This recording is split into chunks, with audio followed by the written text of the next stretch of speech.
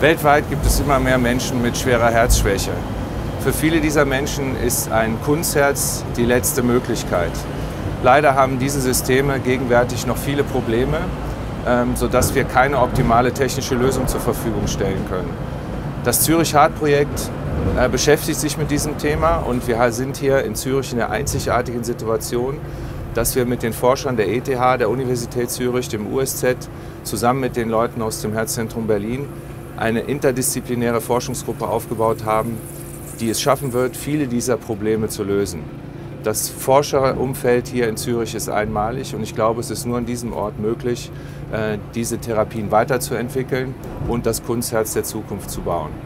Wir sind sehr froh, dass wir mit vielen Ingenieuren, Informatikern und Klinikern zusammen dieses Projekt bearbeiten und ich bin ziemlich sicher, dass wir schon bald einen großen Erfolg haben werden.